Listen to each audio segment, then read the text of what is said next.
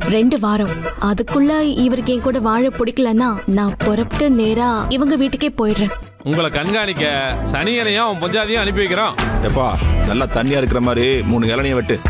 ரெண்டு பேரும் ஒரே இளநில குடிக்கணும். பொண்டாட்டிக்கு பூ வாங்கிட்டு வரணும்னு சொல்லிருக்காவுல நீ மல்லிகைப்பூ வாங்கிட்டு வந்தாதான் இந்த வீட்டுக்குள்ள வர முடியும். இந்தா பூவு. இப்படி கேட்டா என் தலையில வச்சு விடு. பரணி அடிக்கும் அன்பு அட்ராசிட்டியா மனம் கனிந்து மனைவியை ஏற்பானா சண்முகம் உங்கள் டாலிங்கில் நைன் நைன்டி ஃபைவ் ரூபாயில் ஏசி வழங்கும். அண்ணா.